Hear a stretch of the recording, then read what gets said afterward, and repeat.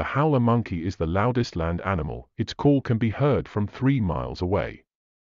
At its peak, the howler monkey can produce sounds that reach 140 decibels, that's as noisy as a jet engine on takeoff.